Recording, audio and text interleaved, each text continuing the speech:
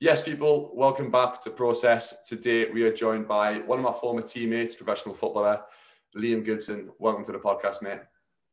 Thanks for having us. Thank you. No, no worries, mate. But obviously, we've known each other for a long time, played football. You're currently at Morecambe. But the main thing, obviously, we want to talk about is your story because you've got a, you've had a lot of setbacks over the last few years within football, uh, along other things. But before we jump into that, we're going to start your football career from the very start. Obviously, you've been quite successful same age as me, now 24. So when did your football career sort of begin? How did you get into football? And then obviously moving on to sign up for Newcastle.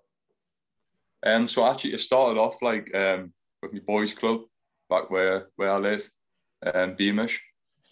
Um, I played there for a couple of years. I think I was about. I think I was started off when I was about 6 mm-hmm. Um, played couple of seasons. So I was. I think I was about eight eight at the time when I was playing a tournament in Newcastle. The scouts from Newcastle come over to me dad and said, "Oh, like, does he want to come? Like, does he want to come to the development centre? Like, and basically see what he what he thinks." So, um, my dad told us after the after the tournament, he was like, "Oh, like Newcastle, the Newcastle scouts come over, like, um, and he wants to, and he wants you to go to the development centre. Like, what do you think?"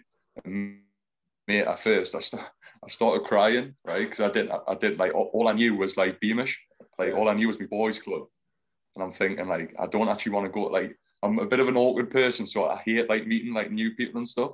But at the time I was anyway, and um, so I was crying my eyes out saying I don't want to go, I don't want to go, and my mum and dad were like, look, I think you're gonna have to like just at least give it a go and then see what you think.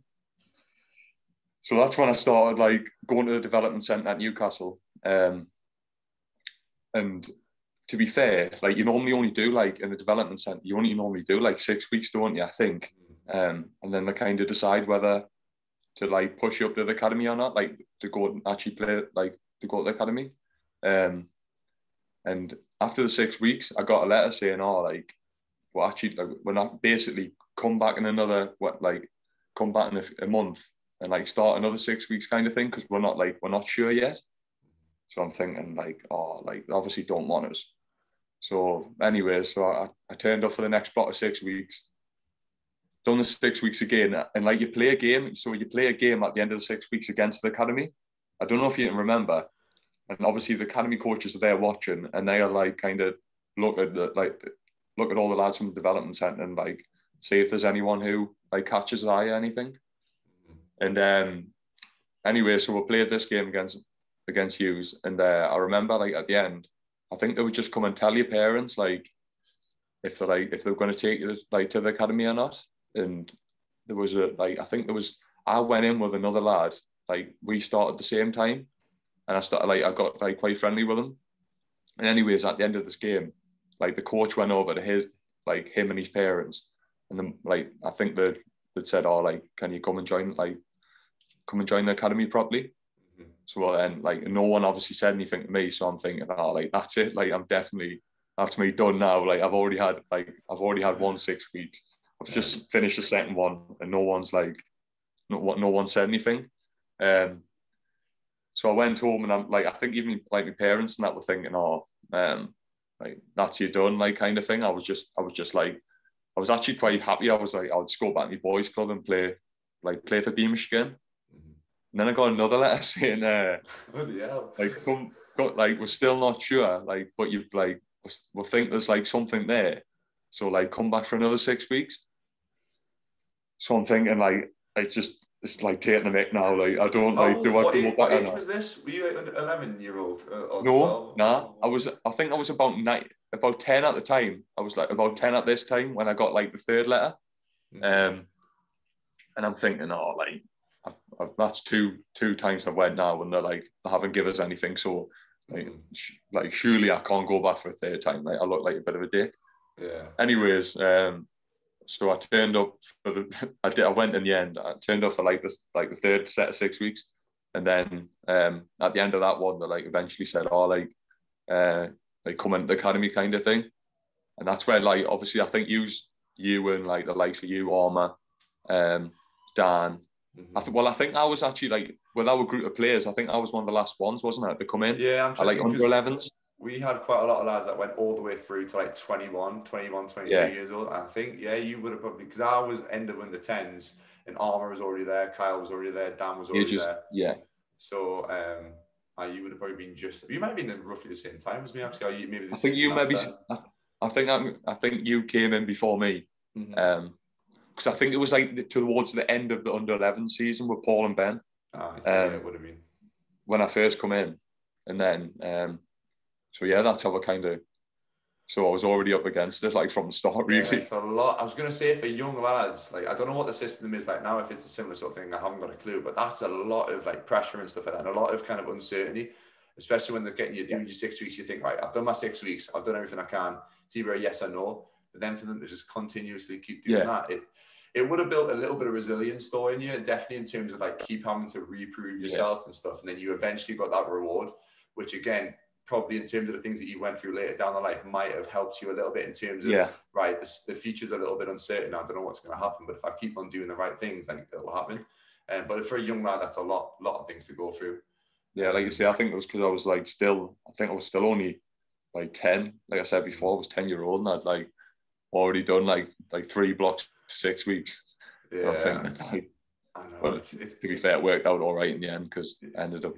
But imagine if I'd like the told us all like, nah, that, just That's the thing with that sort of thing. It can, especially if you went through six blocks of six weeks, three blocks of six weeks, I should say, and then you end up not getting a contract at the end. That would completely kill a young lad. Not like Yeah. imagine like, especially when you're that age, you're telling your mates like, "Oh, I'm like trying for Newcastle and stuff like that," and you're like, "Oh, like they're like, what's happening?" It's like, "Oh, the, they've kept us on another six weeks. Oh, they've kept us on another six weeks," and then getting rejected.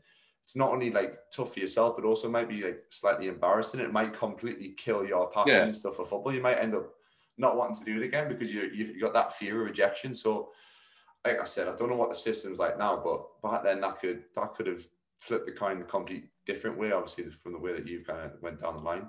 Um, but it's a tough one. So from there, from Newcastle, obviously you got your you went through the the ranks. So you remember any kind of good memories and stuff because you went away to Singapore, didn't you? yeah. I went to Singapore. I didn't That get a chance. I was injured, shock, so I didn't get to go.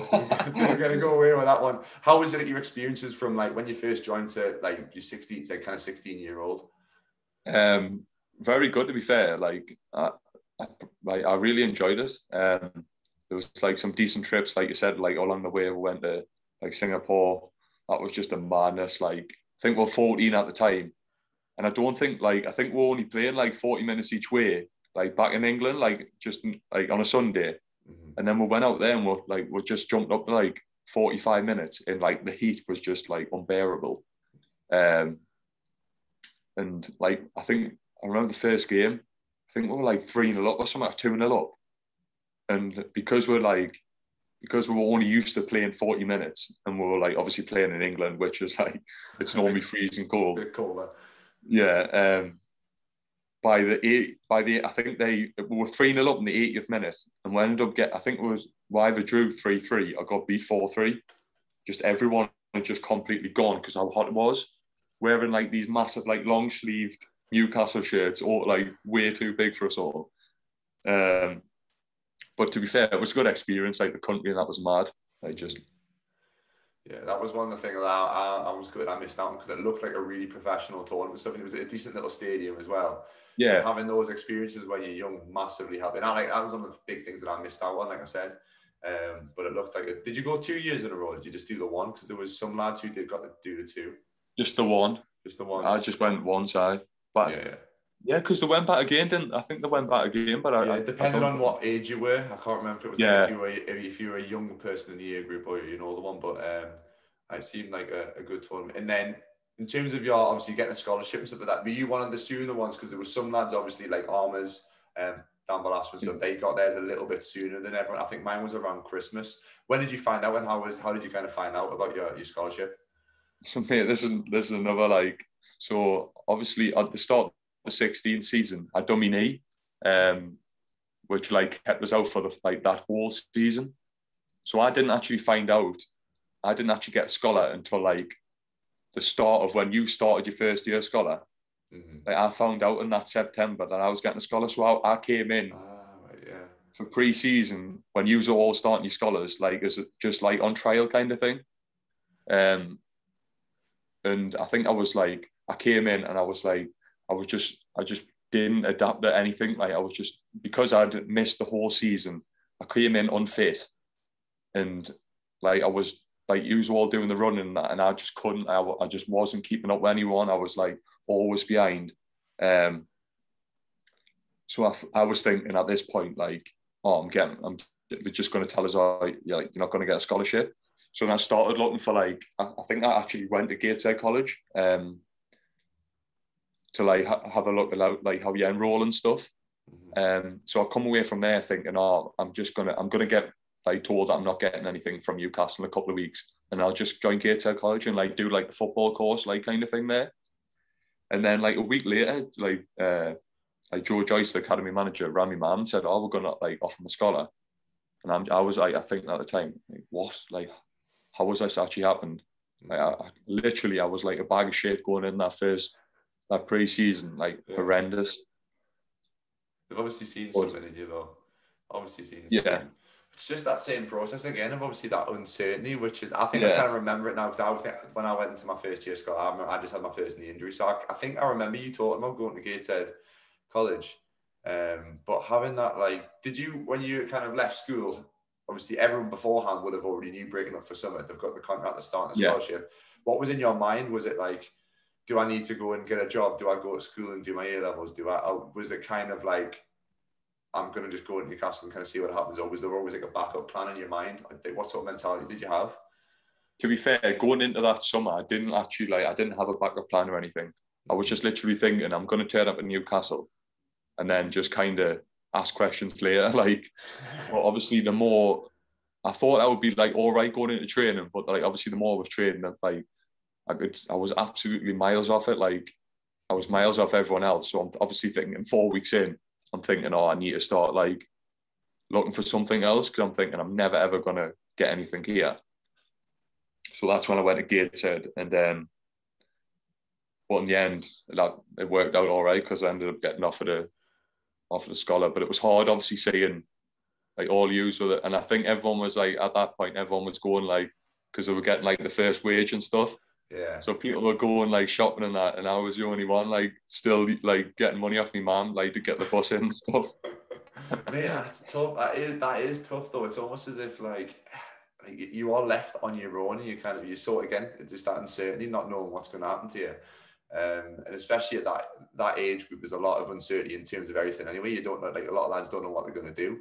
Um, yeah. Leaving school and stuff, it's it's a tough time. So you've you've obviously done well. You've done something right. They've obviously seen something in you and then from there you kicked on. So I, I know obviously your progression through into from the 18s to the 23s to start off, it was going really well.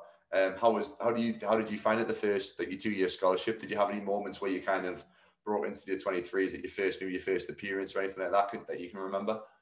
So obviously, like so the first your first year scholar like that like that didn't go to plan at all. Like I just couldn't like I said before, I just couldn't adapt to like training every day. Um, and I just like obviously coming in and I wasn't fit. Mm-hmm. It just like didn't. Re- and I could then from then I couldn't really get in the team. So I was like I was only training, and when I was playing, I wasn't fit enough. So I was like I was always cramping up and stuff, mm-hmm. um, which means that which meant I just couldn't get a run the team at all. So at the end of the first year of scholar, I thought myself I need to like work hard like this summer. Like coming back as a second year, I needed to be like like hit the ground running. Mm-hmm. Um, and to be fair, when I came back um, for pre-season, my second year, I was like, I felt like really fit, like really fit and strong. Um, and I think all, to be fair, I think all the coaches were shocked because I think they thought, oh, like he's going to turn up again here, and he's just like, because I think at this point, I think even one of the coaches told us that like, um, at the first year they were thinking, oh, like he's he's finished here, he's going to just see out his second year scholar kind of thing.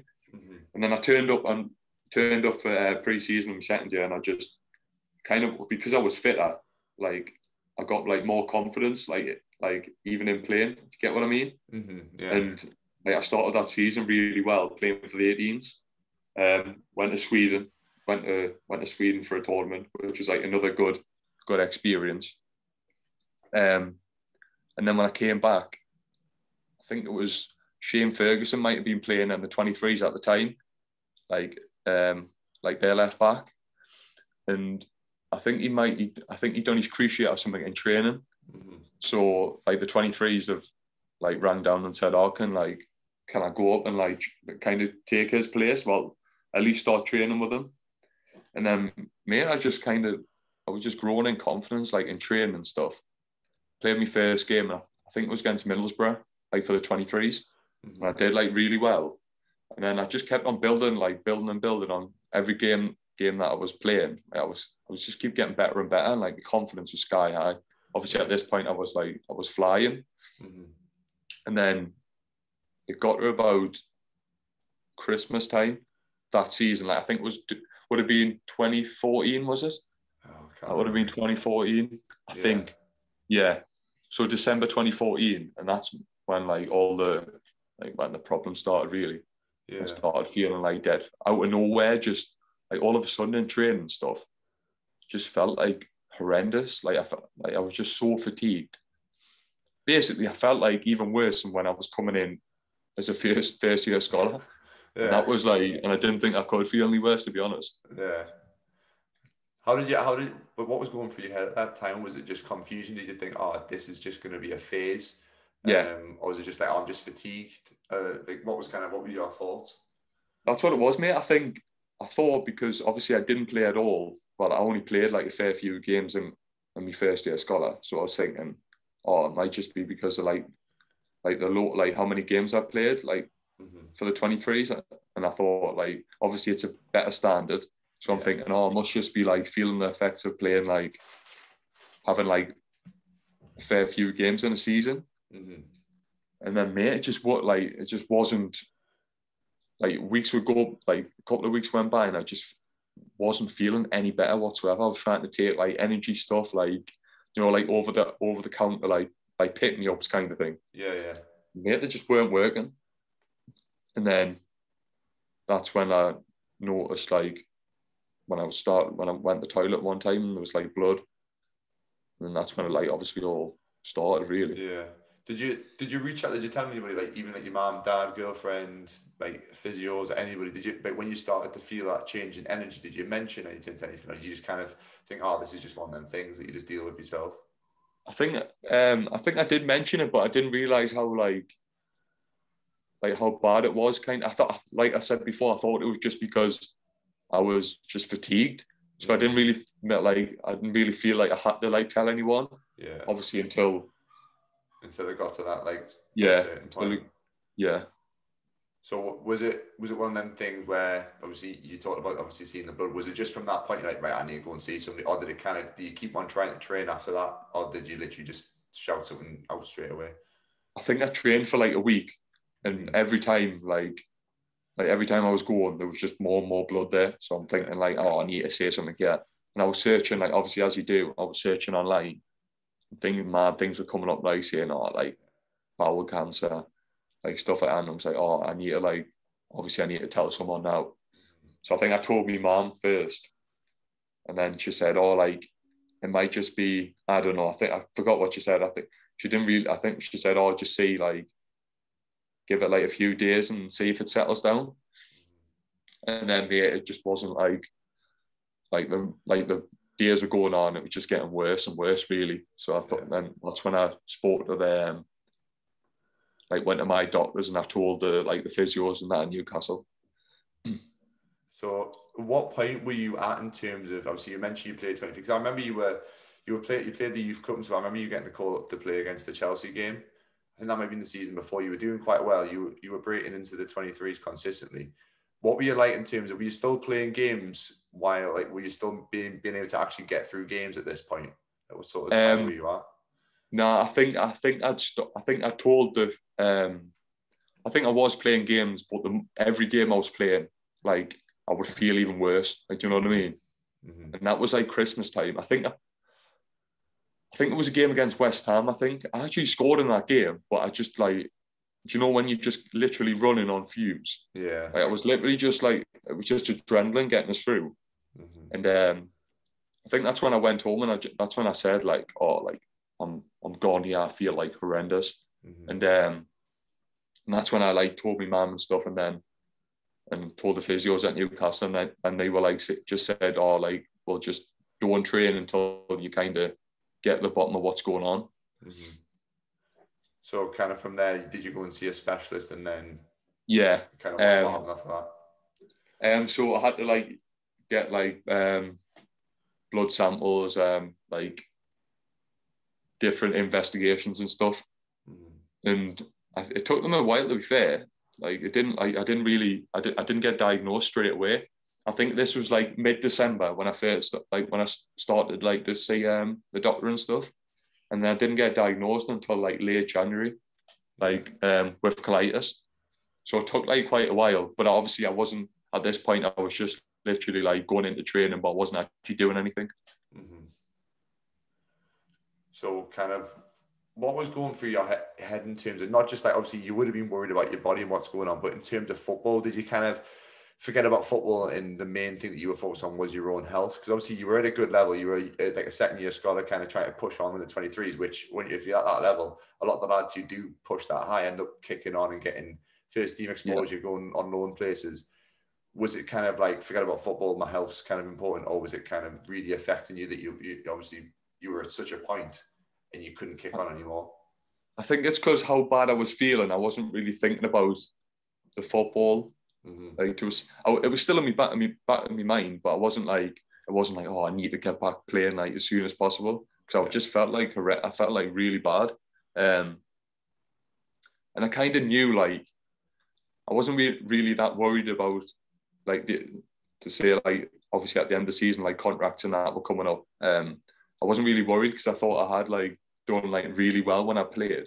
Mm-hmm. So I was thinking like surely they're gonna like give us another contract. Mm-hmm. Um, but it was just more like focusing on like trying to get the bottom of what like what was going on really. Mm-hmm.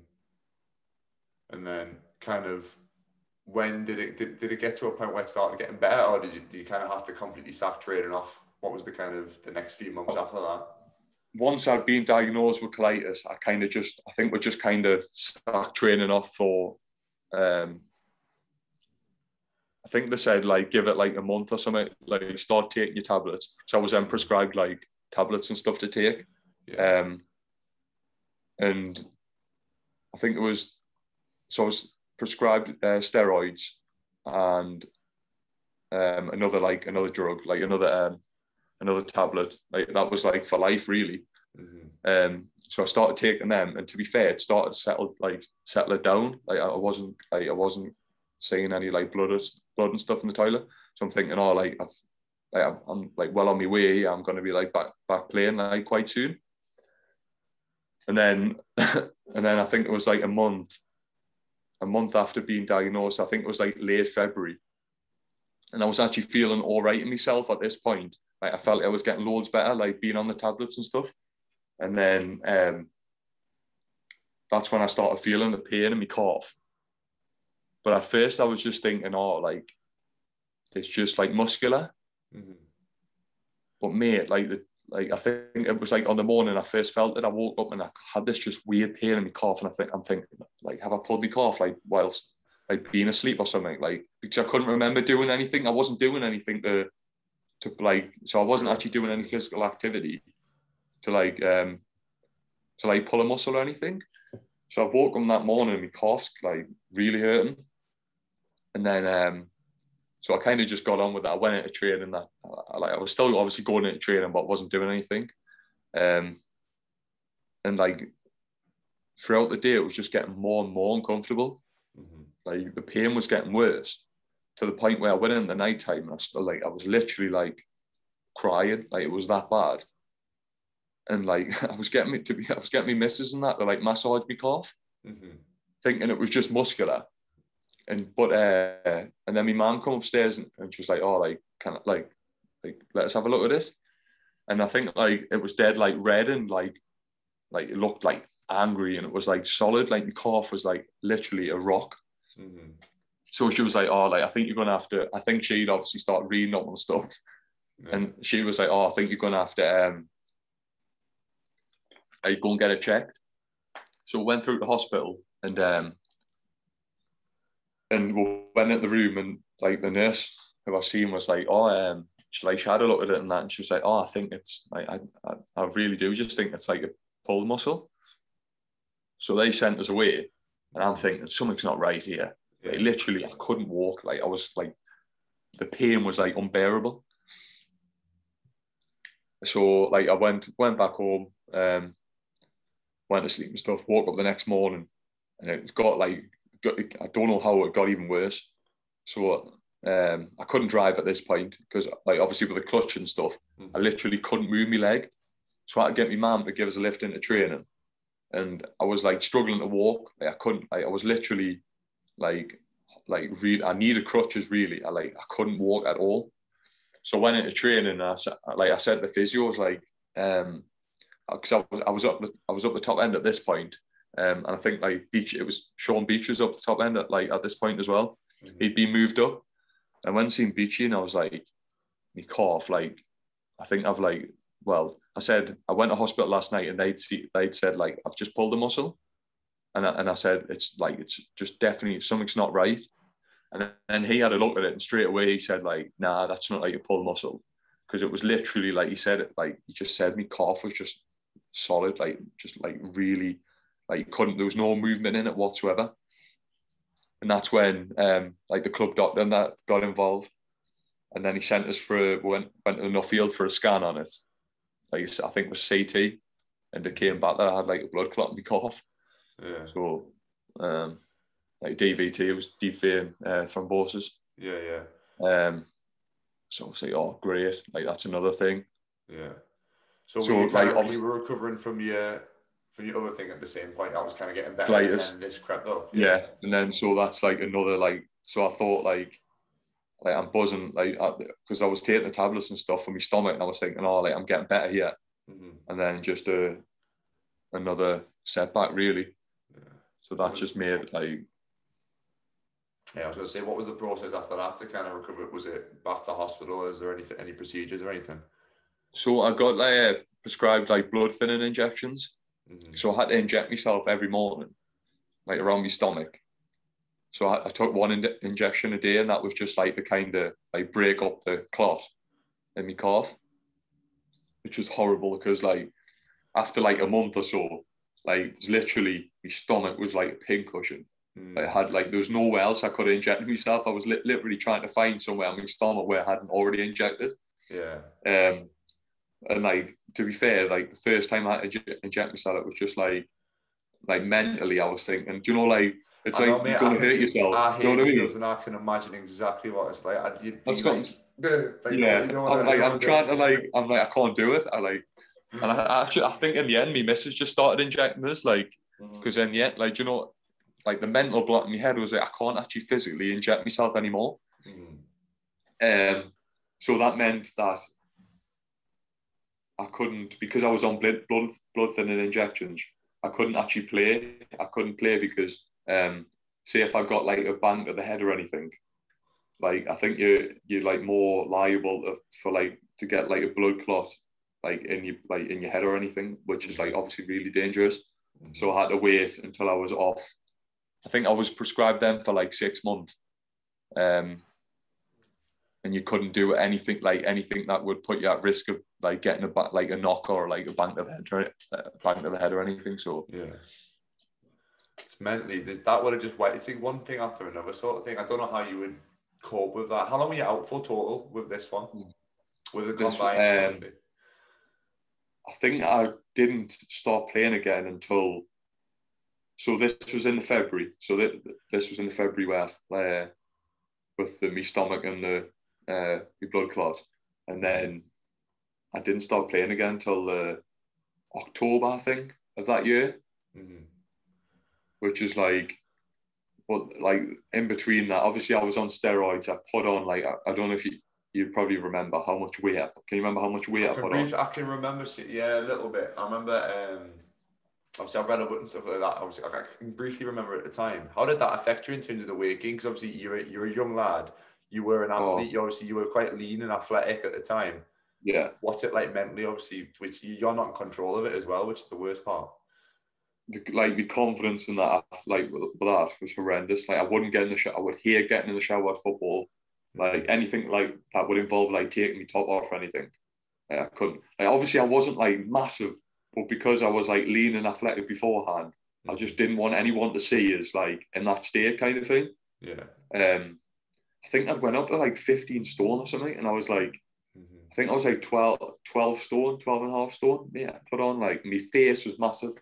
And um, like obviously the, the lads didn't really like the lads were like having a bit of banter and that, but I don't think they like they realised like why like they just thought because I wasn't training that I was just putting on weight. Maybe that's what I'm saying. When talking about it, like I said before the podcast, I didn't realize the whole thing. I thought you just had a. Yeah. I knew I had the blood clot in the calf. That was about. it. I didn't know really that much. I can't remember too much at the time.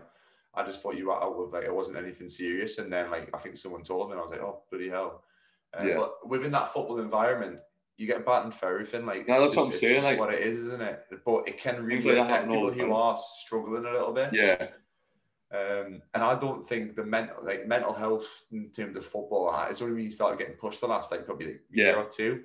Like I don't think it was kind of a th- I never knew about it back then. Like Yeah. it was just a, and even that was what like six, seven years ago, whatever it was. It wasn't really a thing. So you would get battered hmm. for everything, anything, and there wasn't really, it wasn't a thing that you would talk out about it. How did you cope with it mentally in terms of like at home and stuff? Was there any like just in that first kind of that first phase? Was there any any moments like tough moments or anything? obviously, like I think it was more because I was concentrating on getting like like better again, like healthy. Like I think the like the weight gain and that was kind of pushed like pushed to the side. Like I kind of just like pushed that out the way.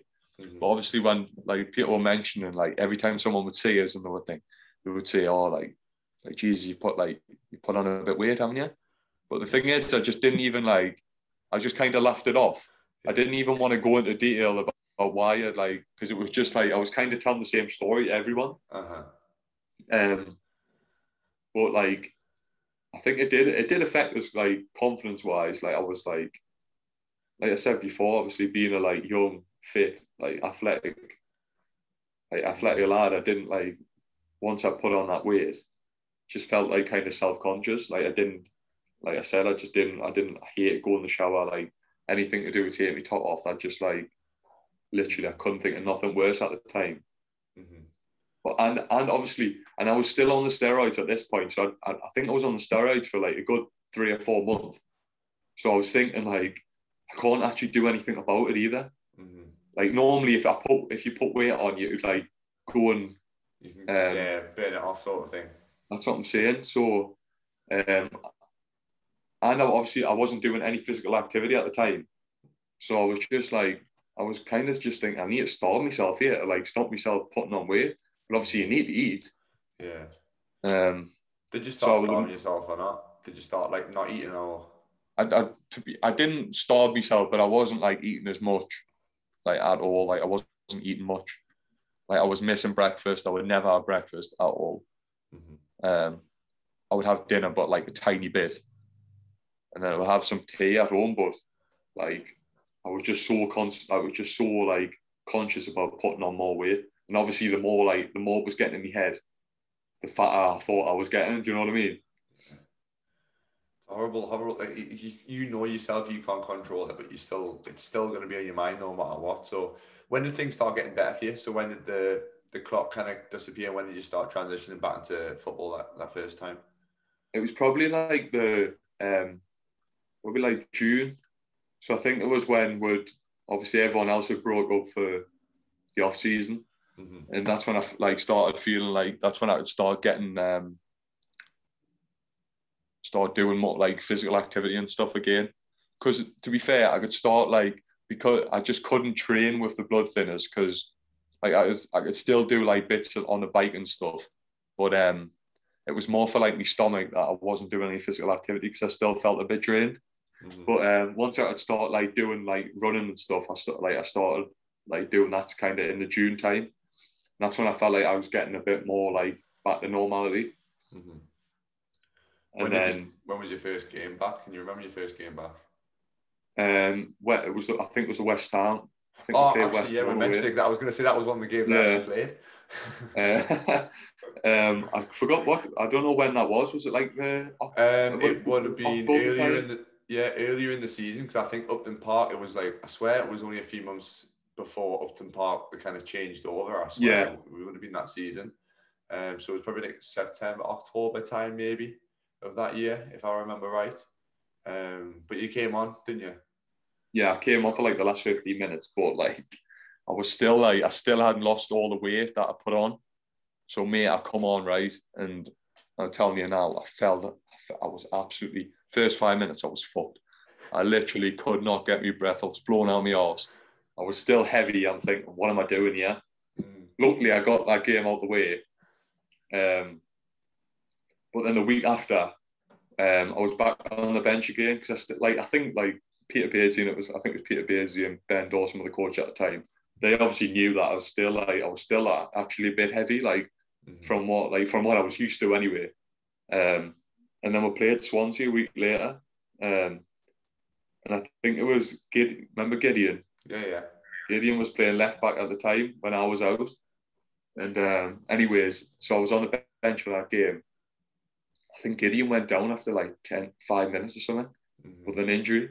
And I'm thinking, I'm like, no, don't put me on here. I'm looking around the bench and I was like, there's no other defenders. I'm coming on here. I'm like, I, I don't need this. Um, Pete was like, oh, get ready, you're coming on. And I knew, I obviously, I wasn't ready at all. I think it was I was going to have to play like 80 minutes. I'm not getting through this because, like I said before, I was I was still unfit. Still wasn't fit enough, and I was still like really heavy. Well, not re- not like not 15 stone heavy, but I was still like I, I was still like carrying a bit. Um, so I, ended, I, I came on, um, and to be fair, I actually done all right. I, I was kind of like I wasn't doing anything spectacular, but I was just like kind of getting through the gear. And then in like the last 10 minutes, uh, his legs had just completely gone. And I remember, I think it was, uh, I think we were winning 1 0. And then when he got the ball, and he's thinking, and he must be looking at us thinking, I'm going to fucking, I'm going to get out of here because he's absolutely blown. And I'm thinking, you're not wrong, mate, I'm gone. so he gets the ball and he starts running at us, and he like, and he gets it in the box, and he's like skipped past us, right? And you know when he just put in like a tired, his legs are gone. I just put in the like just the most tired tackle you've ever seen. Bring him down, I'll give a pen away on I saw. And uh, we ended up drawing the game one one. But I wasn't really like, you know, when you just think like I'm playing again now, so yeah, you, I wasn't, you, I wasn't really that bothered about. I was good condition, so yeah, it's good to be back. When did you start feeling kind of like not like normal in terms of fitness levels and stuff? Yeah. Um, I think I, so. I went on loan to Gateshead in that. It was in that December, mm-hmm. um, and that's when I was kind of like. That's when I started to feel a bit like normal again. Like I felt like I was, I, I basically I lost all the weight. Like the weight, like I was back to like, like peak, like peak condition. Um, and yeah, so it was like around about the would have been around about the December, January time, like the next year. And I think that's when I actually started, um, when I came back. So I only played like a couple of games for Gateshead on loan and then ended up coming back because, like, so the manager that took us into Gateshead ended up getting the sack, like after two games. So then I was obviously, I, I started to get a bit of banter about that, saying that I got the manager sacked and stuff. um, so then I came back anyway because it was a new manager, and he just he just said basically that I just I like I've got the lads who I want, and like you kind of yeah plus the requirements. So he's like, oh, I just like head back to Newcastle. I was like, right, fair enough. And then I think it, this was like the January time, and that's when I started training. And I don't know how it ended. I don't know how it came about, but that's when I started training with the first team, like back at Newcastle, mm-hmm. which is obviously like a massive like confidence boost. Like after everything that had happened, like to then be training with the first team like after after only being back for like five five or six months. Yeah. So obviously, obviously that was like a massive confidence boost. Yeah, I was going to say yeah, had a good little spell. Did you go? You went away to thingy, didn't you? Um, is it La Manga? La Manga. La Manga. You went away and played in that friendly game. What was what was that like? Um, it, actually, I, th- I thought I'd done like quite well. To be fair, mm. I, th- I didn't expect to be starting though, like on that Saturday, because I think Paul Dummett something might have been like I think he'd been injured, but he was like kind of getting. I think he was like going to be fit enough to play like the next game because it was like an it was an international break. It was like probably around like this time. Wow, how many years ago? Then Yeah, yeah. Yeah, so it was like an international break. So I'm thinking, oh, like he's going to be get he want, he's going to be wanting to get minutes into like Dummett's legs. Mm-hmm. So um, so I've went away with him. I've like obviously I think we were there for a week, um, and then obviously had the game on the Saturday. And I think uh, Steve McClaren was the manager at the time. He just like he said, it was oh, you like you're going to be starting. This was on the Friday. He was like, oh, you're going to be starting tomorrow. Like I'm like quite well I was at the time I was like quite a nervous person so I'm thinking oh shit like I'm, I'm, playing tomorrow like like for the first team even though it was only a friendly but I was still a bit nervous obviously it's like still a lot of pressure like it's yeah. the first team still isn't it yeah. And I still hadn't like when I'm like mentality wise I was still a bit like not I, I, it's to explain like soft you know like after everything that had happened yeah like my, men, my mentality was still a bit like I was still thinking, oh, I shouldn't really be in this position. So instead of thinking, oh, I'm going to go out tomorrow, I'm going to like show people like why I'm like why I'm playing at like this level and why I'm like playing with the first team. Mm-hmm. My mentality was like, oh, like, like, am I going to do well? Am I like thinking everything through? Like, I can't make a mistake. Like everything like that. I was just thinking like too negatively. Yeah. And to be to be honest, in the end, I actually had like a good, I had a good game. I like, I was quite, like, I was steady away, but Mm. That's the thing. I just wish, like mentality wise, I was more like, um, more positive. Yeah, it's good for you to talk about that though, because there's probably a lot of lads who do get like, the opportunity that you got in terms of like whether it be a preseason friendly or like a tour away, obviously, or whatever it is. And they probably are thinking like, oh, there's lads who have done this before. They're probably thinking they're probably really strong and like, oh, I'm up for this game. But I'm feeling maybe like I'm shitting myself. I'm, I'm you, you having those negative yeah. thoughts. Like it is normal to have those thoughts, and when you're in them positions. But you just said you had a good game. Like even if you do have them thoughts, don't like worry about it. Don't let it affect you. Yeah. Because if you've got the ability, you will have a good game. Um, obviously, it does just make it. There is obviously ways around the mentality, getting yourself psyched for game, being positive. But if you are someone who is nervous and who is a little bit shy, they still have that belief because they, the example you just gave there for yourself you still have that fair, negative mindset. But once I was like getting into the once I was into the game, like that would go away. Like I think because yeah. I've always been quite a nervous person, like before games and stuff.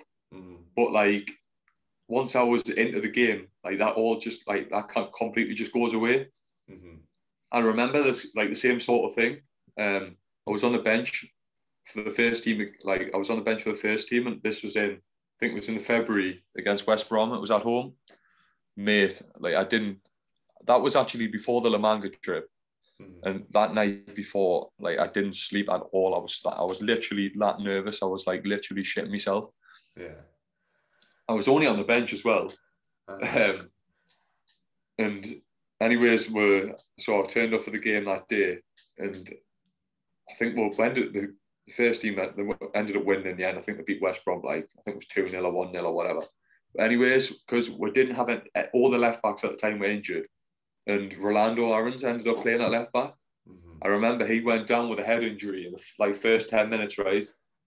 And Steve McClaren's turned the bench, right? And I'm just fucking, I'm sliding down my chair. I'm like, no, don't, not me, not me. That's what I'm saying about the like the mentality thing. Mm-hmm.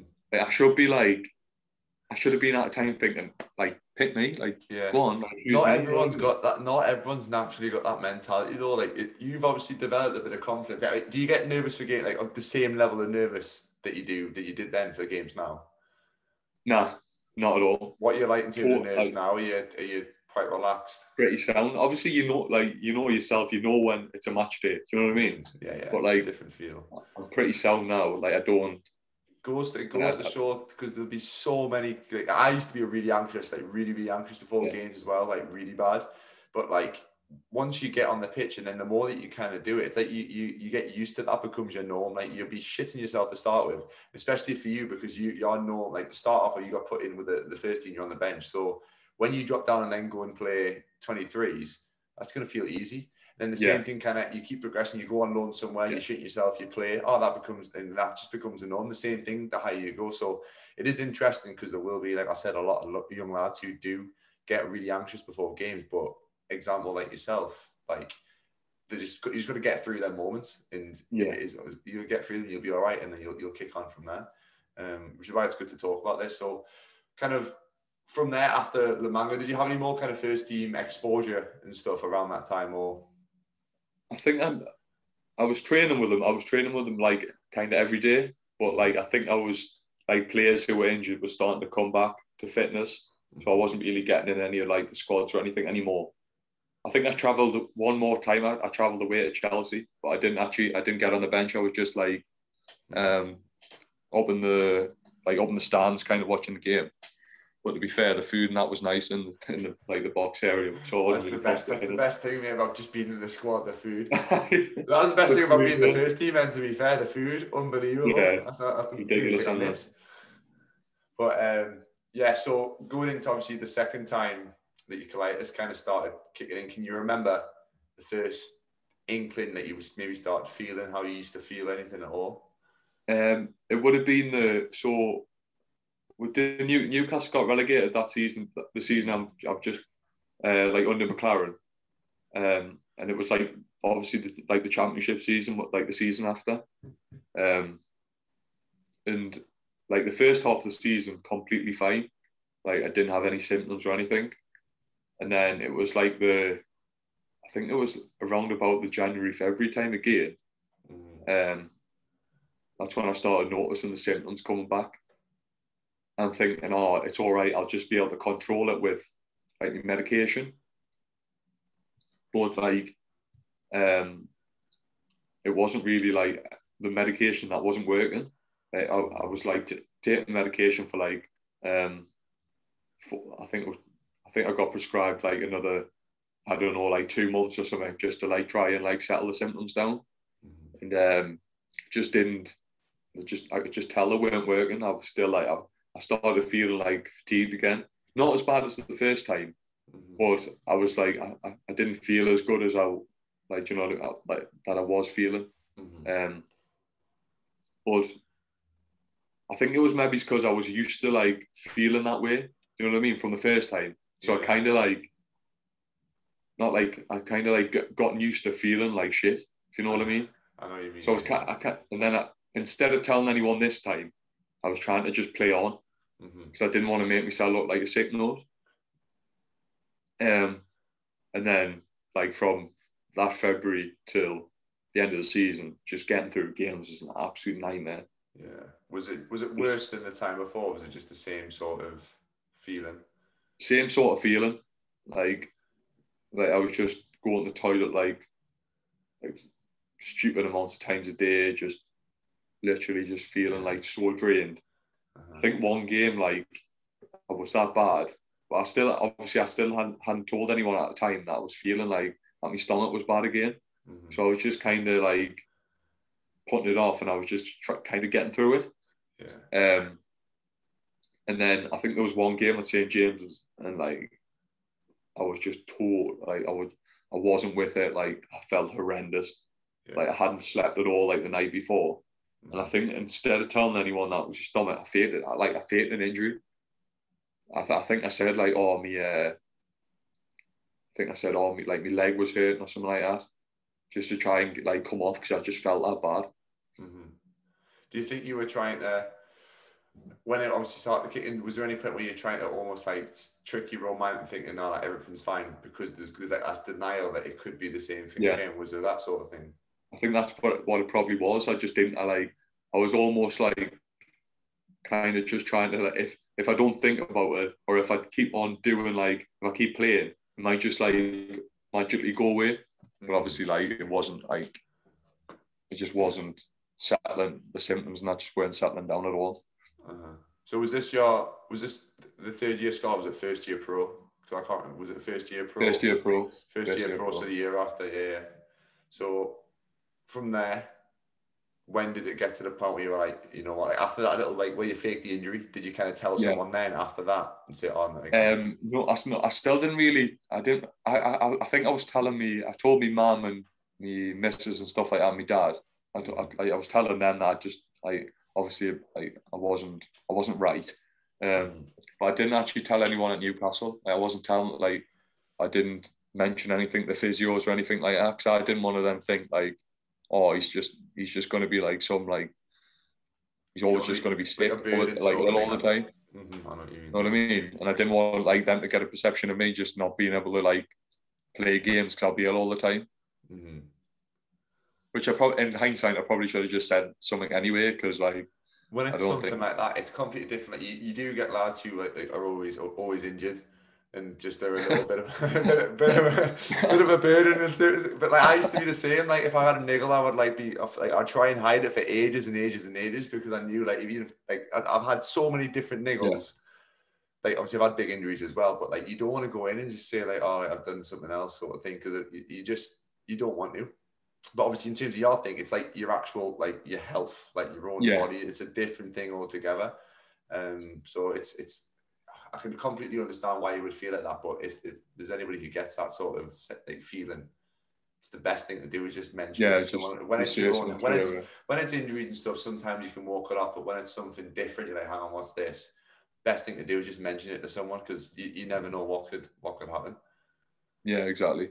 Probably like like if you if you mention it early, like mm-hmm. I don't know, they might have been able to do something. I don't think they could all, but yeah, like they might have been able to do something for us. I don't know that like might have helped, but I don't know.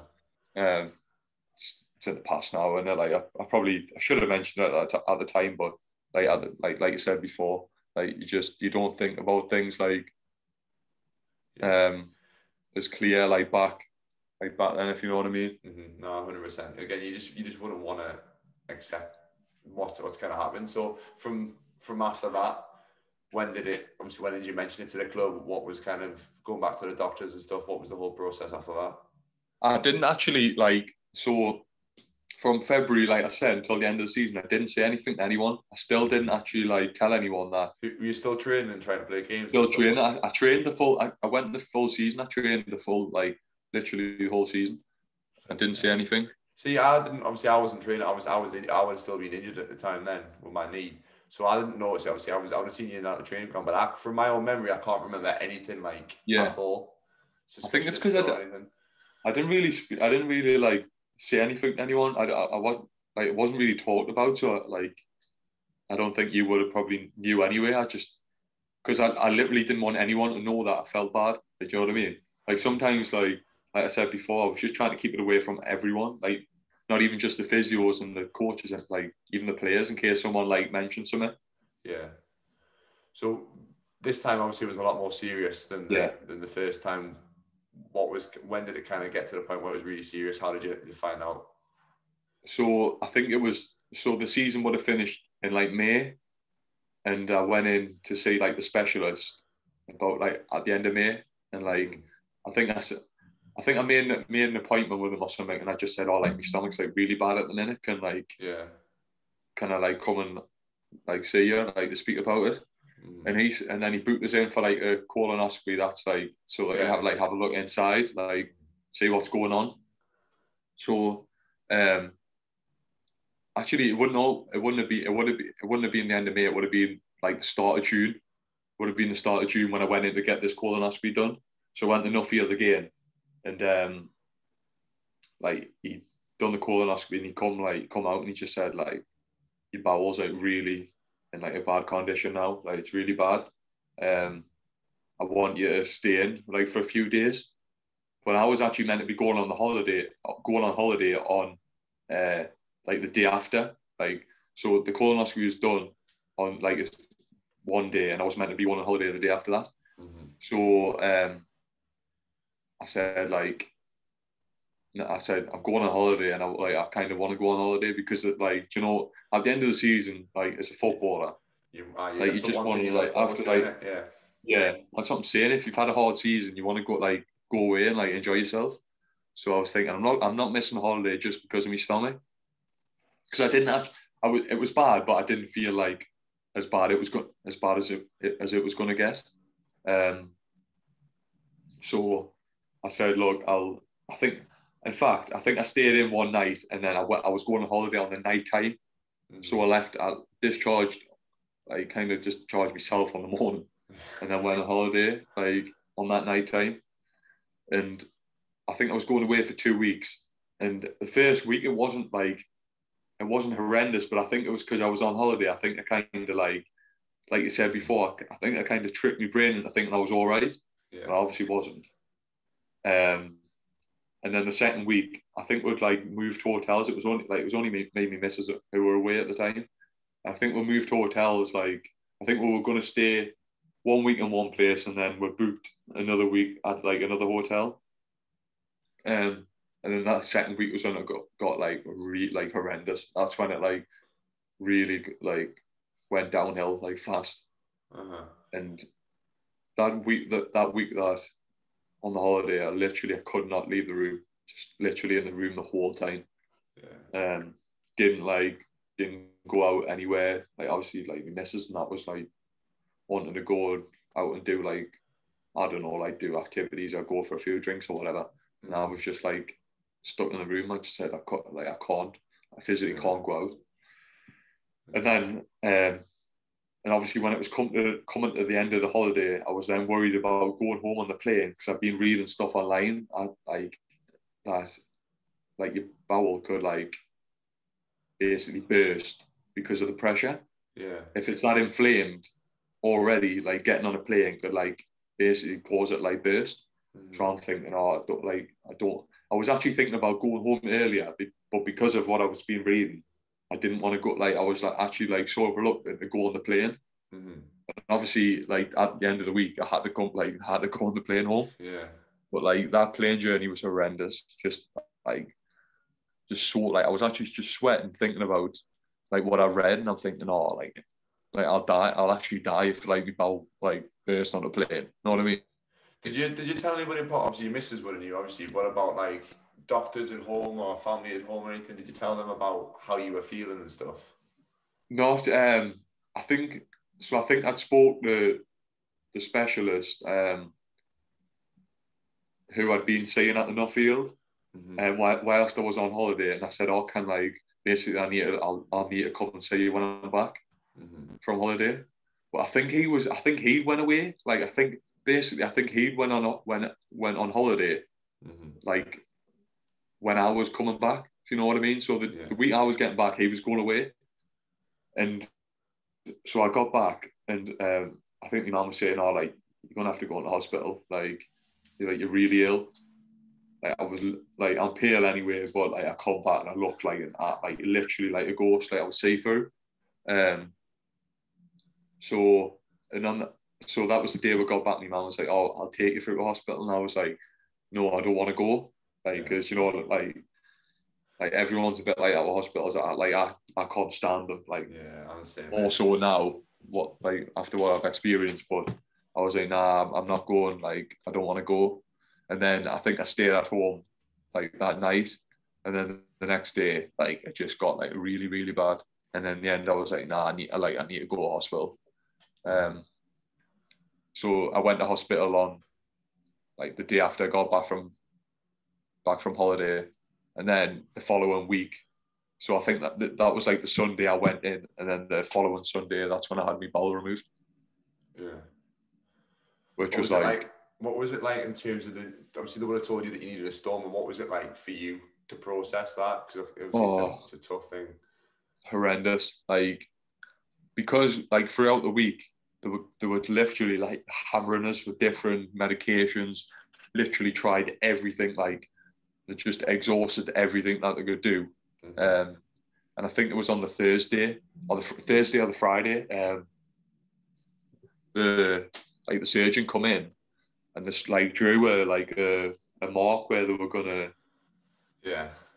like we're gonna operate and I was like what are you doing that for so I was literally like in my head I was still so reluctant to have this operation like in my head I, I wasn't gonna have it but obviously when they come in when they start drawing like operation mark like you know it marks for the operation Yeah. you know what's like gonna happen so um and that was on the I think it was on the Friday and then on the Sunday I st- to be fair even on the Saturday I still thought oh I'm not, I'm not getting this operation done Mhm. and then on the sun, and I was getting my bloods taken every day. So they were saying that it was getting worse, like the um, like all my markers, like my blood and stuff, were going up and up every day. So they were saying, like, obviously they were like coming in every day and saying, look, like this, it's getting worse. Like we're gonna have to like operate soon. Soon. And I think they tried one last thing on this, one last bit of medication on Saturday, and it was like, um, like this is your last, like this is the la- last resort.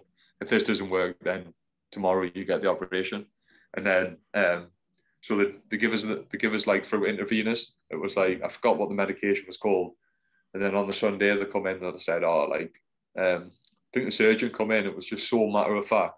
She was like, oh, I'm gonna go on my dinner now, and then um, I'm going to operate operate on you after after after me dinner. Surgeons are weird, you know. I don't understand them. Man, like they just do it. Obviously.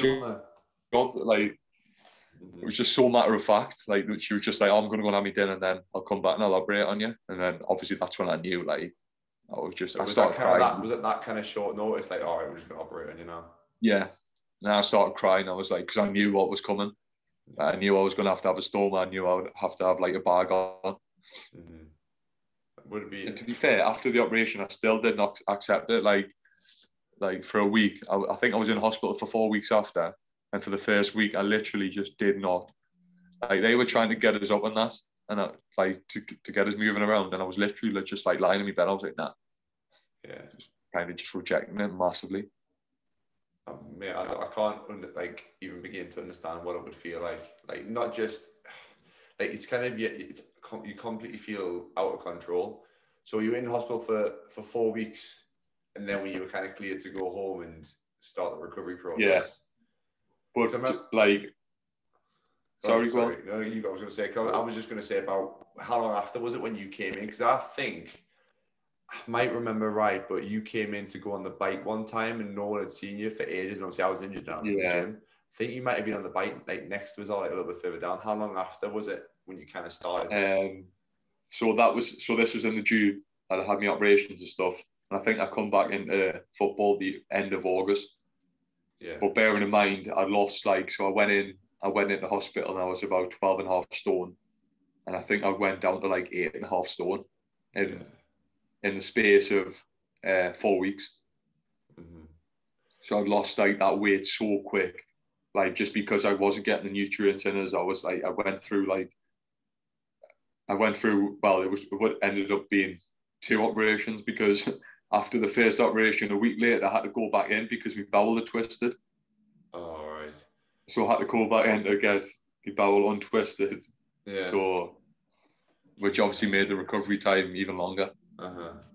What would you say was the the toughest moment in terms of the whole the whole thing? Like, was it just the initial kind of waking up after the operation, or the kind of time it took for you to process it all? toughest moment was probably definitely waking up and like saying that I had like a stoma in a bag on, million percent. Just like going from being a normal like, not that's not normal because, but you know what I mean. Like Uh-huh. it's it's just massive like a body image like but like my confidence had literally like at that point was just gone. Like, I was like I was I almost just thought I was a bit of a freak. You know what I mean? Yeah. I was a freak. I had like a bag on my stomach. Like no, like not many people. What I thought had that. Like I thought I was just like at that point. I was like, I'm the only person who's got this. Like, I'm, I'm like my age who's got this uh, this bag like attached to my stomach kind of thing. My intestine like coming out my stomach. Yeah. What was the? uh, Was there any coping mechanisms or things that helped you? A certain like, what what was the process of you kind of like dealing with it all? Anything that helped you, or was it just a matter of time? I think it was just a matter of time. Like I said before, I still didn't. I still like a week after the operation, I still didn't accept like what had happened. I was still just like thinking, oh, almost just hoping that it was just a bad dream. I was going to wake up and I would just be like, none of this would have happened. Uh-huh. But then, to be fair, as time went on, I kind of got used to like having the bag and stuff.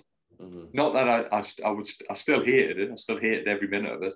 I still thought like me, I still wouldn't dare like I wouldn't come in the shower with the lads at football or anything. Mhm. Like I would go and shower in like a different, Yeah. like the referee change room. I would go in the referee change room and like like to shower and stuff.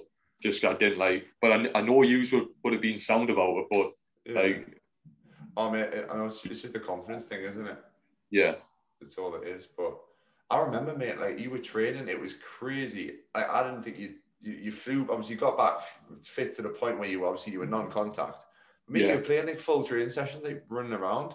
How did you, mate? It was crazy when you were when you were coming. I think I was coming back about the same time as you, um, from my injury, so we trained a little bit. But how was that in terms of getting like mentally in the right mindset to go and play football, knowing that obviously you had the stoma at the time? I think obviously like it was about putting the weight back on and getting like strong first before like yeah. I didn't. So basically, the, once I had my operation, the plan was to have an, another operation in January. Mm-hmm. And then another one in March. So there was like three stages, and that had already been planned out. So I was just thinking, I'll just go back into football and get myself like stronger for like my next one. So like there was no like there was no thought in my head that thought that I would be training again yeah. before like the next operation. And I think it's just like how it happened. I think like obviously like the the, the physios and like the doctors and that were like obviously made sure I was comfortable of like doing that first. And I was obviously asking their advice, like, is it safe to do so and stuff? And they were saying, yeah, as long as you had like a, had like a guard, a guard which like protected like my stomach, and I would just wear that. And then like like you say, in the end, I was basically like full training, wasn't it? Yeah, mate, it was crazy. Like I didn't, I, I didn't realize that you could do that. If someone told me before, obviously seeing you there, like, I would have thought, like, surely you can't do that, mate. It's crazy. No, that's, I thought that as well. Absolutely crazy. It's just like completely normal. Did, when did you did you kind of get like completely comfortable with it, or were you always obviously it would have always been in the back of your mind, but was it were you at the point where you didn't really you forgot about it sort of when you were playing, or forgot about when you were doing your gym gym work? Was it always kind of in there? Nah, it was. I think it was always in the back of my mind. Mm-hmm. I got to the point where like I could cope with having it. Mm-hmm. Uh, I got to the point where it was like I got used.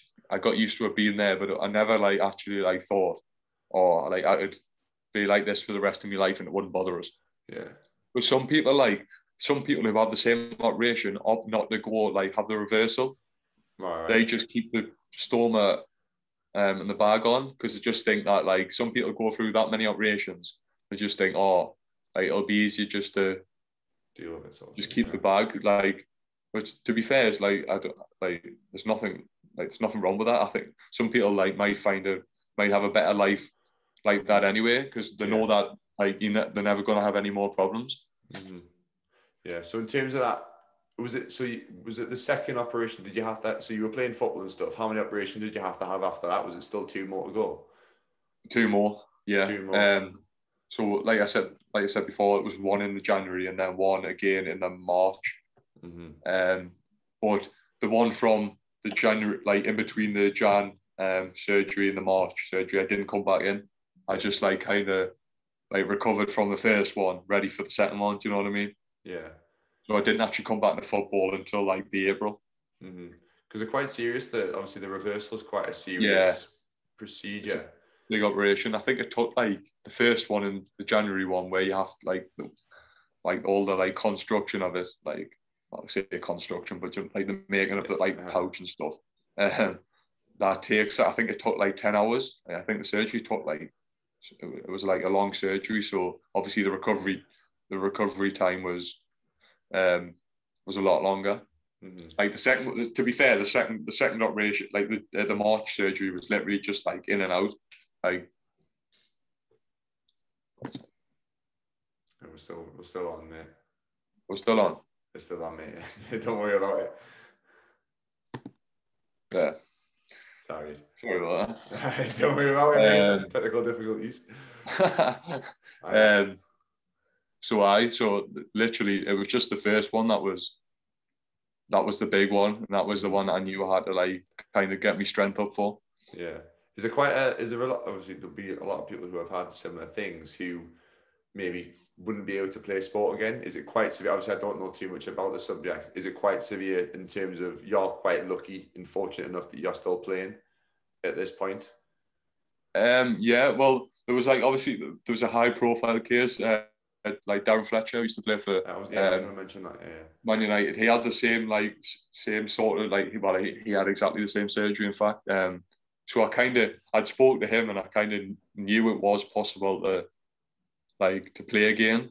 Mm-hmm. But like at the, the, the point where I had my first surgery, when I was lying in bed, I was thinking, "There's no way I'll ever play football again, especially at like at the standard like we were playing at." If you know what I mean? Uh, yeah, In terms of like obviously going through the whole process, did you have much support like in terms of your mental health, which is like a big a big topic in football? Never mind that like with what you've been through. Did you have a lot of support from I don't know anybody was anybody you reached out to in terms of mental health support um in like through any really dark times? Was there any I, d- I didn't I didn't really see anyone like like a professional group or like something like like um I didn't actually go I just I kind of just used my family and stuff like my family were like like like caterers really like like the mental like the mentality side of things because I like I think I mentioned I think I mentioned before like one point I was on like antidepressants um yeah.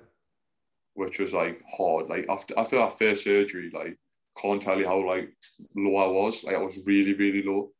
Um so like I, I kind of just like used my family and like my friends and stuff just to kind of um like get through it if you know what I mean uh-huh yeah, having a good having a good surroundings is probably the best thing that you can do. Massive. When like in talking to people, like even if you don't talk out like on things like podcasts and stuff, speak to someone close, close to you. Like even just like, I heard, what was I listening to the other day? I was listening to actually it was um, what's his name? The BBC Radio One presenter. He's just done a, a TV program on mental health. Um, he's oh, um, Ross Kemp. Is it what's his thingy? What's Martin, his name? Martin Kemp. Well, well, yeah, is it? Yeah, well, whoever it is, some, Roman Kemp. That's the one. We'll go there eventually. I watched this program last night on mental health. So he had a, um, it was his best friend who committed suicide at the start of lockdown. It was all kind of lockdown related. Yeah, I, have seen, I, have seen a bit about it. I didn't watch it like that. Did yeah, see and then there was there was a guy on there who I think I took an attempt on his own life, and then afterwards, we when he nobody kind of woke up on his own sort of thing yeah. afterwards.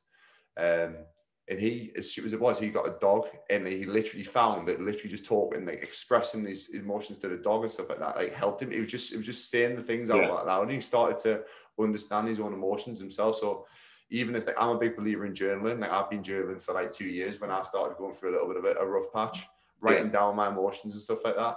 Like it works for some people. Some people might think it's stupid, but it works for me. Everyone's got their own processes. Like everyone's, everyone's different on. Everyone's different, and different things work for different people. Like, mm-hmm. but I just think obviously it is like like obviously mental health, especially like now. I don't think it was really looked no. looked that much like like a few years ago, but now it's obviously it's massive, and I think like if you can, and obviously always like like speaking out about things is obviously like always like the best thing to do. Mm-hmm Oh, it was that everyone's different. Like you might have different coping mechanisms to me. It's just finding what works. But the worst thing to do is keep it in. But there is there is people who spoken to who who, who just say to themselves, "I just get on with it." Like some people do have that mentality and they just deal with it themselves, yeah. which it might work for people, but it might work for a certain amount of time. But even just like expressing it to like your dog or something stupid like yeah, that might work. But whatever whatever it is um, but mate, you've obviously battled through it well, and your family's been there supporting you. And, and obviously, the, I think that the lads and stuff that we look, we were lucky that we had a really good group of lads as well. Oh yeah, oh like when I first come back in, like like you said, when I come back in, I was just like, usually obviously knew that how different I look compared to what like, do you know what I mean? When I left that summer, yeah. come back, and I was literally probably in, like two, probably still about a stone underweight or even more. Mm-hmm. Um, but usually, like all the lads in that were class with us, like, yeah. but like you said, it's like, as normal sort of thing. Yeah, like I still have that banter. It's not as if like just because you're back in doesn't mean we can't banter you anymore. Like we're still going to banter you and stuff about it, which I think is one of the best things. Just trying to keep things normal when you are oh, going oh, the best, things. It was probably the best thing, like for my, probably the, the best thing for my like mental health was to come back in anyway. Yeah. And like all the lads were like, they, would have a bit banter about things and that, like what had happened. But I think it was just like that was better for me than yeah. to someone to everyone just be looking at us like, oh, can, can we say this? Can we say like, yeah. can we say that? How will he take it? I yeah. would rather like like people like have like a bit of a laugh about it. Yeah, it's like I'm trying to think. He was brutal. Smithy was Smithy's quite brutal, and he? he's just like. So sometimes Smithy. you would say things and be like, "Ooh," and then you start laughing. Like, oh, that's fine. That's what it was. Smithy and Carl Roberts. Carl Roberts. A few, uh, few lads that were brutal. We used to play that like spinny game with the um, Curtis's thingy ball, wasn't it? If you dropped it, you used to get battered. Yeah. There was some good things that we used to do, man. Good change room that though. Yeah, I know it's that weird. Look, look, looking back at it, like obviously it seems like it's been ages ago, but you don't realize how like good it, that sort of community thing is for your mental health, oh. especially like with lockdown and stuff. Now I don't know what football's like. Football's a bit different now in terms of change rooms and stuff. Like you've got to be distance and all that stuff. So yeah, that environment's just. And I think a lot of lads, especially in like lower leagues, like non-leagues, they're going to be missing that sort of crack because um, it is it's, it's obviously helped you massively in terms of your mental health, and it probably does help a lot of people without people realizing it until it's been taken away as well. Yeah. Um, but I saw coming back into football, obviously you you still had a few years, well, a year or so left at Newcastle, whatever was left. How was it coming back after all of that and after trying to get yourself back fit again? Did it feel similar to the first time when you were getting yourself back fit, or was it a kind of different process, different mentality? I think it was. I think it was actually easier um, the second time to get back fit mm-hmm. because I was I was more.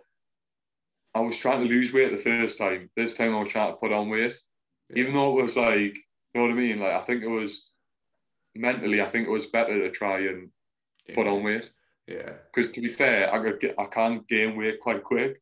Like so, like it was like actually pretty easy. But it was just about then getting fit to come like to go back to football.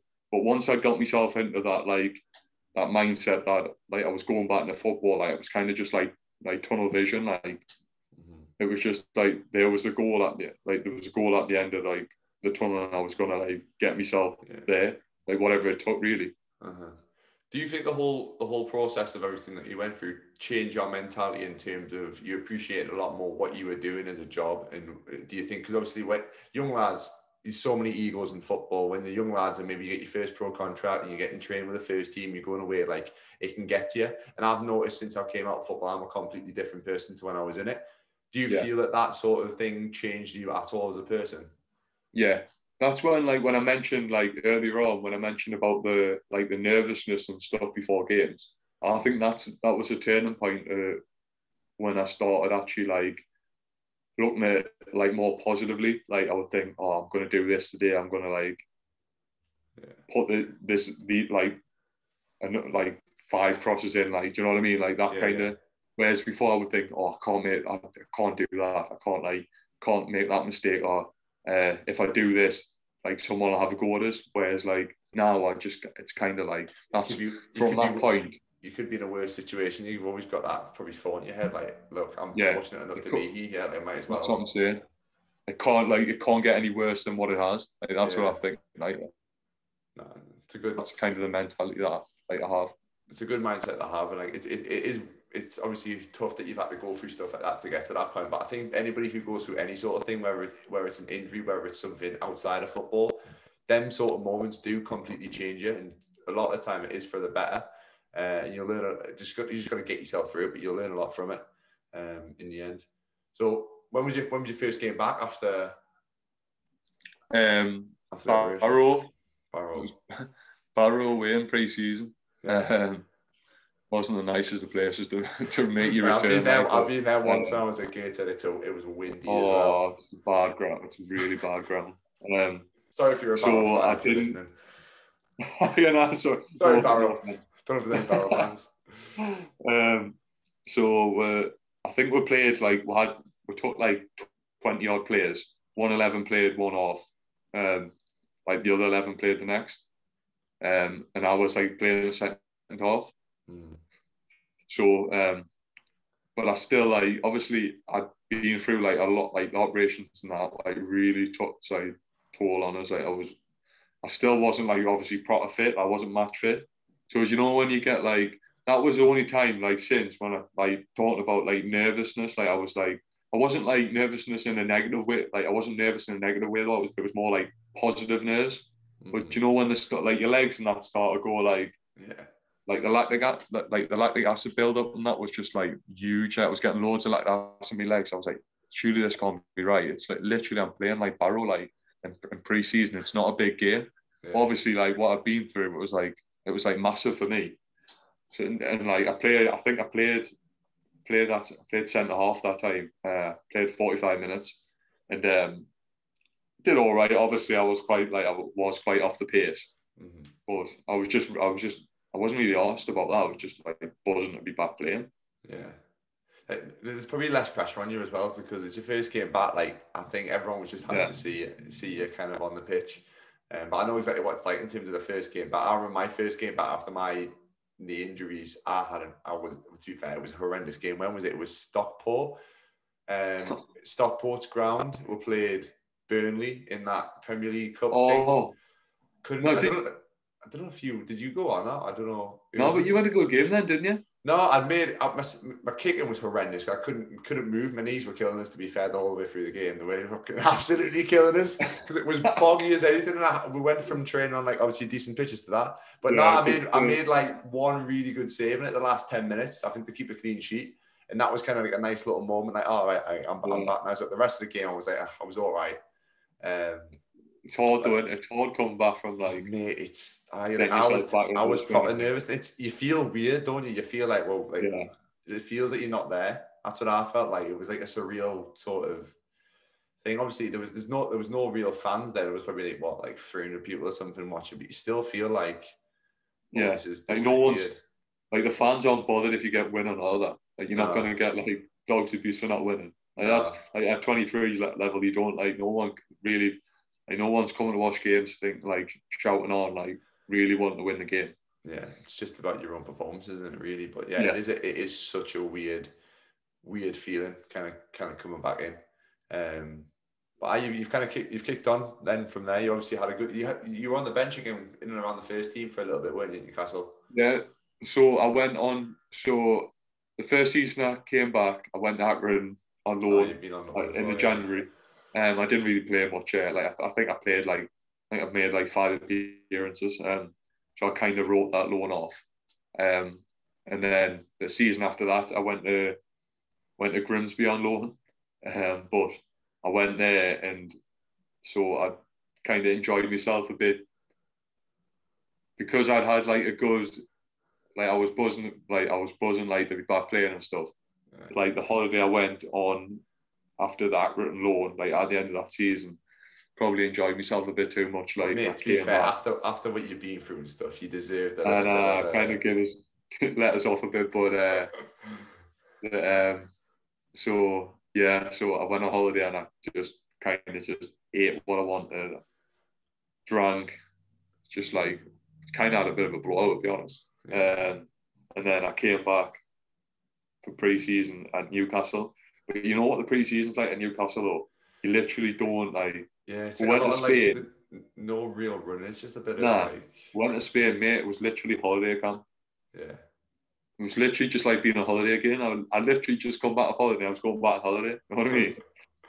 there was never really running. It was like, well, I think I even joined in with the running for a little bit when I was before I was like more had my injuries and stuff, and it was just a few little sprints in between like little games on it. Oh, That's all it used to be. And, like, even I used to be up there at the front and like I haven't run, so I was like, eh, what's happening here? But yeah, it wasn't really too too bad.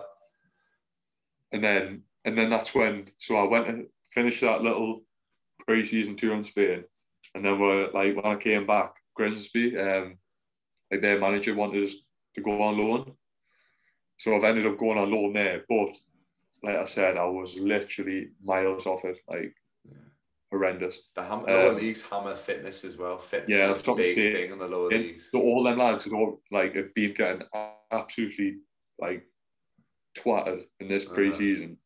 And I'm like coming into this like miles off it, like just behind everyone. And to be fair, the manager had a fair few choice words to say it was Grimsby manager was absolutely formal with us, to be honest. Yeah. And then, so I didn't like, so the season started because I wasn't fit enough, I didn't play. Um,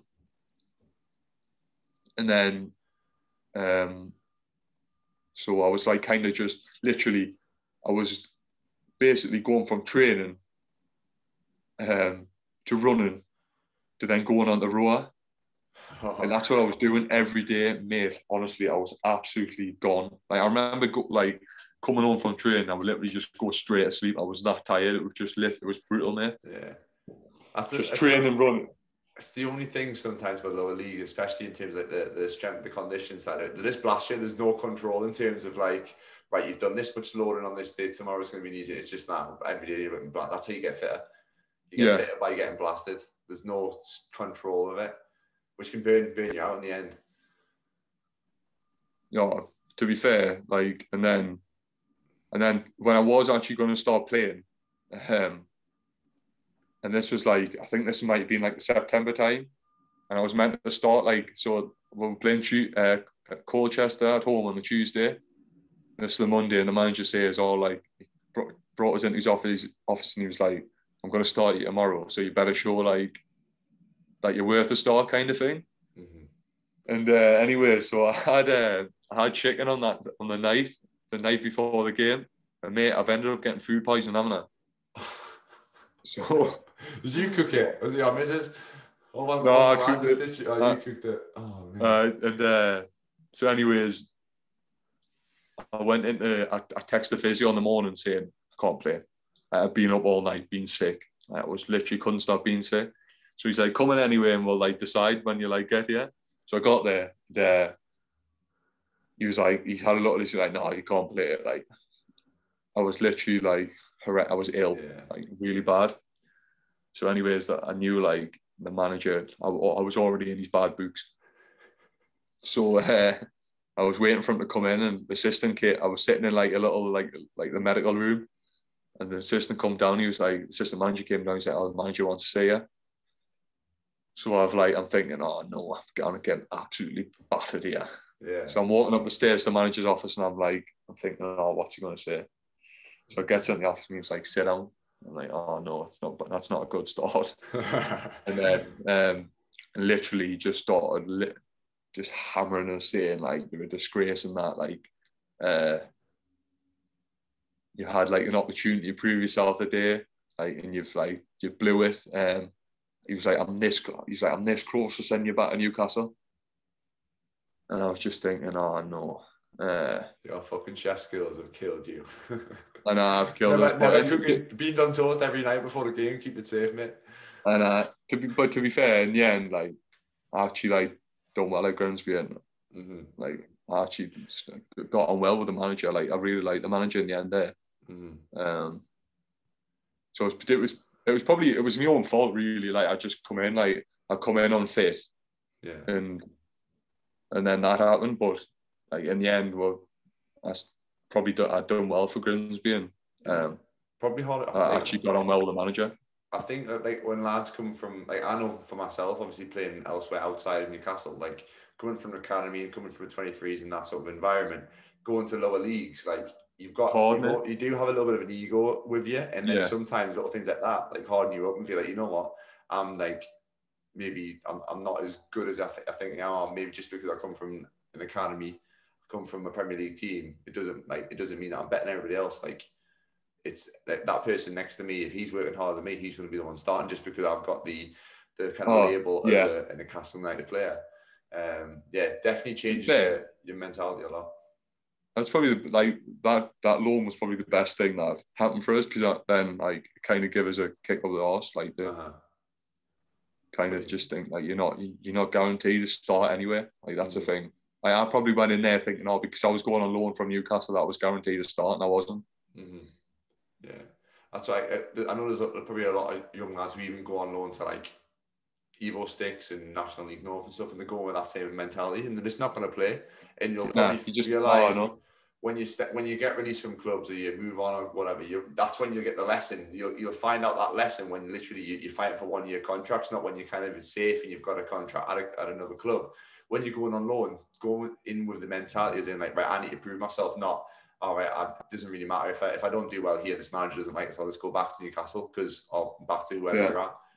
Because when you do end up getting released from that Premier League team or that higher, that better academy, that you're going to be in the real world of, of football, and it's a, t- a lot tougher environment, especially now with, with what's going on with, with lockdown and stuff. Trying to get teams. Yeah.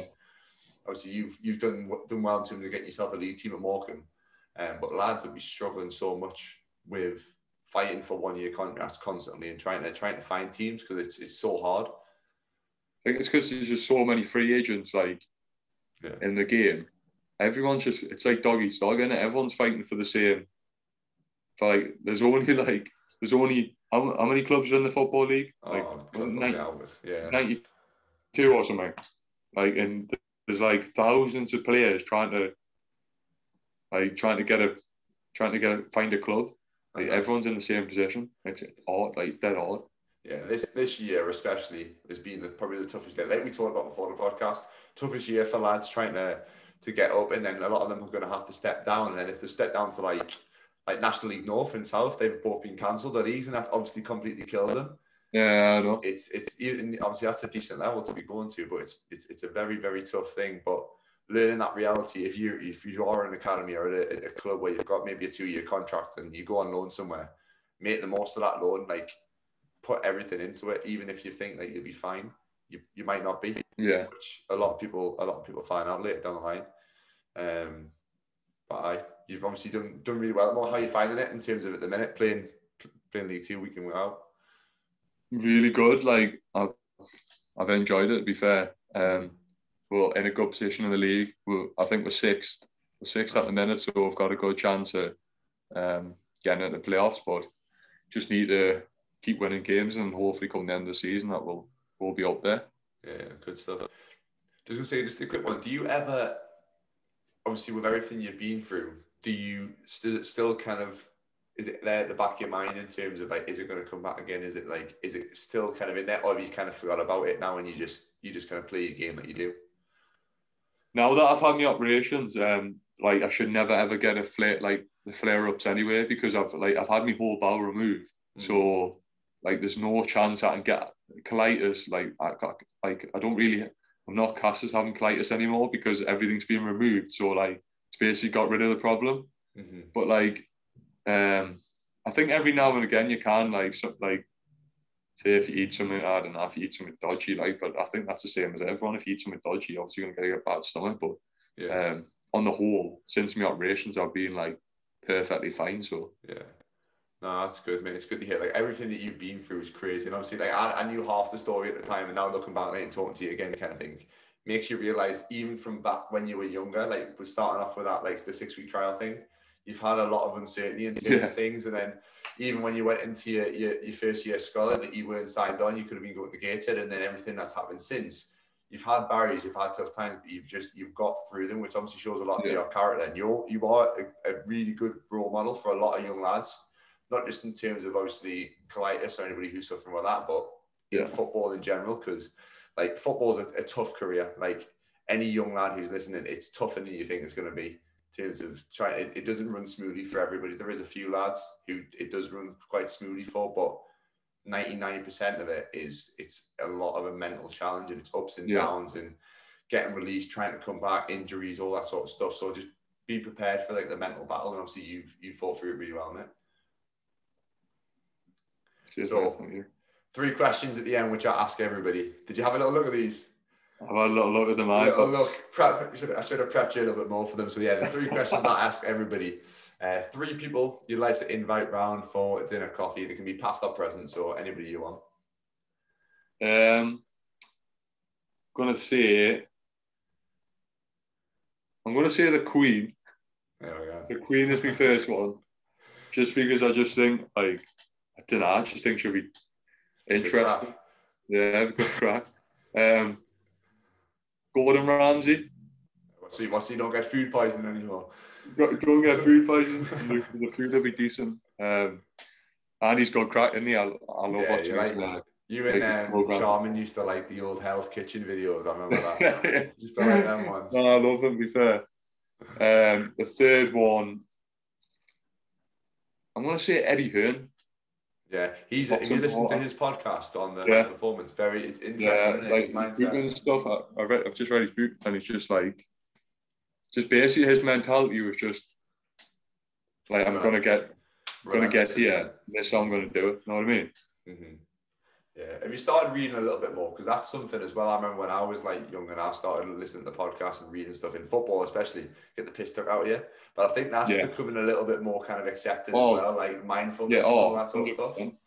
I've just like over this past year, I've like just started uh, reading like a lot more.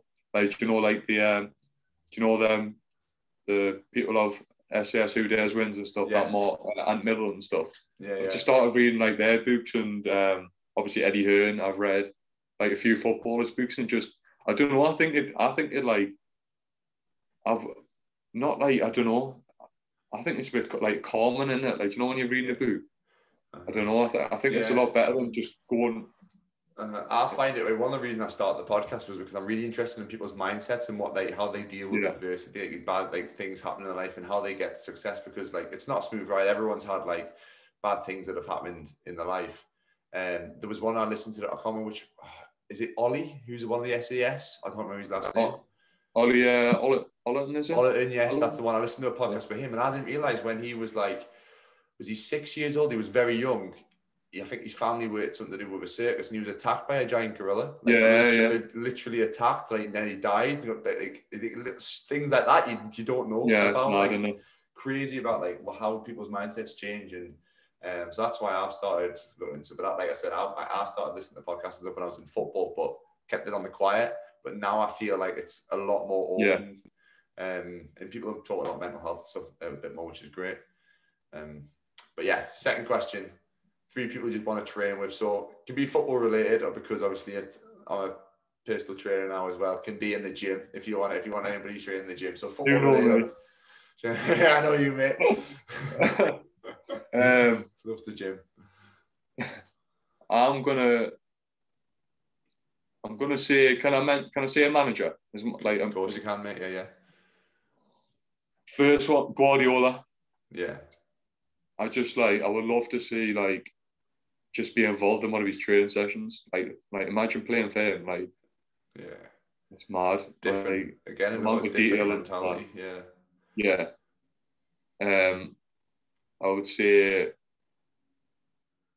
I know a lot of people would probably say this, but uh, Messi, yeah, Lionel Messi, like saying that, like obviously because I'm a defender, I don't know whether I would actually want to train with him or not. on your Probably team. us look stupid. Um, but Messi would probably be like up there for me. Ooh, third one.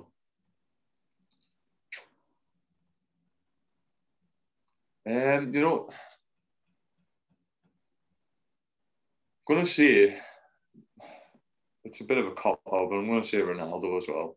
yeah, Just Messi, I, I don't know, like because obviously when people compare Messi Ronaldo, like I don't think you can compare the two. The Like some of the things Messi does is just like Mhm. out of this world, like ridiculous. Whereas like, whereas Ronaldo, like, I think Messi's talent comes more like natural. I think it's just like natural talent, isn't it? Mhm. Whereas Ronaldo's like worked. like Like, Ronaldo's ethic and his mindset and everything. Like, I, like I'm, I'm, Yeah. a, I'm, a, I'm a Ronaldo fan of Messi just purely because of his work ethic and like what he's been through, obviously in terms of his backstory as well. Um, but yeah, like talking about mentality with Ronaldo, Ronaldo is literally like, like even now you'll get asked questions like, "Oh, who's the best player?" Like and you'll just say, "Oh, me." yeah, Whereas like Messi, I don't know, like what he, I don't know if he would say that, but like that's just like different men, like both just got two totally different mentalities. Like Ronaldo was just, even now he's like how much money he's made and stuff. yeah. He wouldn't He's even- switched, on to everything else in terms of like he's got hotels, businesses, and stuff like that. So Oh. he's he's clued into everything else. Whereas Messi's just like just a footballer, isn't he? Yeah, it's very good, just a very good one. Um, and then last just- just just a very a very good just a very above average one. and then last last question, one thing that you'd say to yourself five years ago. probably good luck. All the best because it's gonna be it's gonna be a uh, it's gonna be a roller coaster, but I don't know. It's probably yeah, good luck, but it's it's been worth it in the end. Like uh, like now I'm like back playing, I'm healthy. Um, probably worked out for what for what like what I've been through. It's probably worked out quite quite well in the end. Yeah. No, mate, that's positive, mate. I like I like how I finished on that. But it's been an absolute pleasure. And I appreciate you obviously talking about everything on there. Um, if anybody, I don't know if you you, you got an Instagram stuff like that. So I, if, if people Yeah. want to if people want to message you or follow you, whatever, I'll put your Instagram in the uh, the show notes and the description stuff down below. Um, Sure. whatever, mate. But it's been a pleasure, mate. Thank you very much for coming on. No, thank you. No, thank you. Thanks for having us on. Thank you. No, no worries at all.